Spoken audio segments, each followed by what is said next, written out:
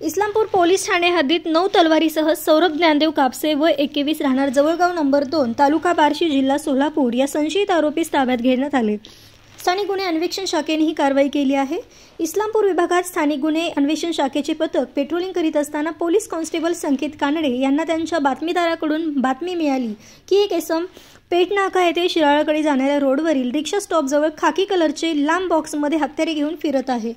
पथकाने सापळा लावून संशयित आरोपीस ताब्यात घेतले. त्याची अंगझडती घेतली असता त्याच्या कब्जामध्ये नऊ तलवारी अंदाजे आठ हजाराचा मुद्देमाल मिळाला. पच्या सक्षम सविस्तर पंचनाम्याने मुद्देमाल जप्त करून त्याच्या विरुद्ध इस्लामपूर पोलीस ठाण्यामध्ये गुन्हा दाखल करून पुढील तपासकामी आरोपी मुद्देमाल इस्लामपूर पोलीस ठाण्याच्या हवाली करण्यात आले. पोलीस अधीक्षक दीक्षित गेडाम यांच्या मार्गदर्शनाखाली पोलीस निरीक्षक सर्जेराव गायकवाड सहाय्यक पोलीस निरीक्षक नीरज उबाळे सुनील दत्तात्रय चौधरी सचिन मोहन धोत्रे हेमंत कुमार ओमासे संदीप नलवडे अजय बेंद्रे सुहेल कार्तिया आणि कॅप्टन गुंडवाडे संकेत कानडे यांनी पार पाडली.